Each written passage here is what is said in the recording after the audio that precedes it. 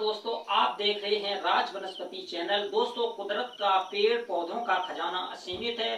दोस्तों, कुदरत के इस असीमित और अनमोल खजाने का हर एक पौधा अपने विशिष्ट गुणों से अनमोल और अनोखा होता है। कुदरत ने हमें अनेक प्रकार की औषधियों का खजाना दिया है। इसमें से कई औषधियाँ चमत्कारी और दिव्य गुणों वाली होती हैं। दोस्तों, कई औषधियाँ असीमित गुणों का भंडार होती हैं। इस वीडियो में जानेंगे एक पौधे से दांतों के रोगों को कैसे खत्म किया जाता है। जी हाँ दोस्तों प्रकृति में ऐसी कई प्रकार की औषधियाँ प्राप्त होती हैं जो दांतों के दंत को भी दूर करती हैं। आज भी कई प्रकार के दंत मंजन बनाए जाते हैं जिसमें औषधियों का प्रयोग किया जाता है। और ये कारगर भी होते हैं। दोस्तों, दांतों में दर्द होना एक आम समस्या है। दांतों में दर्द होने के कई कारण हो सकते हैं।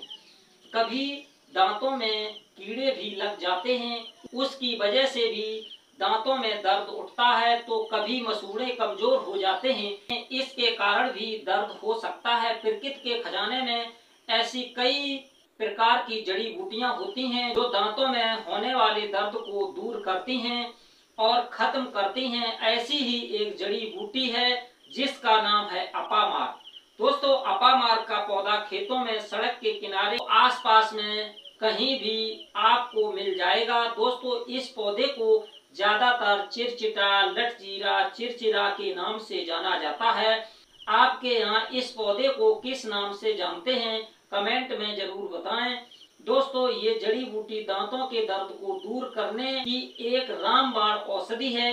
दांतों की किसी भी प्रकार की समस्या को, चाहे मसूड़े में दर्द हो, पैरिया हो, दांतों से खून निकलता हो, या दांतों की सड़न, दांतों की हर समस्या का इलाज है, यह अपामार्ग का पौधा है। दोस्तों, अगर हमारी वीडियो पसंद आती है तो हमारे चैनल को लाइक और सब्सक्राइब ज़रूर करें, जिससे हमारी न्यू वीडियो आप तक ज़रूर पहुँचे।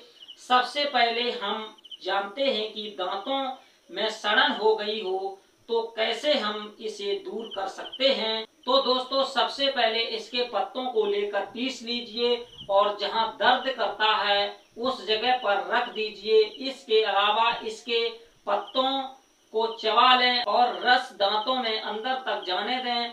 दोस्तों, ऐसा करने से शीघ्र मिनटों में दांतों का दर्द ठीक हो जाता है।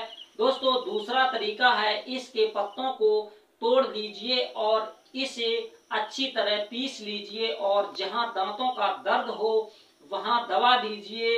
आप देखिए, कुछ ही मिनटों में आपके दांतों का दर्द ठीक हो जाता है। दोस्तों प्रकृति के बीच बसने वाले लोगों सालों से इस पौधे का प्रयोग करते हैं। इसके तने का प्रयोग करने से दांतों का दर्द कैसा भी रोग ठीक हो जाता है और दूर हो जाता है। इसके तने का प्रयोग दतौन के रूप में किया जाता है। रोज़ाना करने से दांतों के रोग हमेशा दूर हो जाते हैं और दांत हमेशा स्वस्थ रहते हैं। इसकी दतौन रोज़ाना करने से दांत मोतियों जैसे चमक उठते हैं और कभी खराब नहीं होते। दोस्तों, ये लटजीरा का पौधा बरसात के मौसम में खूब मिलता है। कहीं कहीं पर ये वर्ष भर भी मिलता है।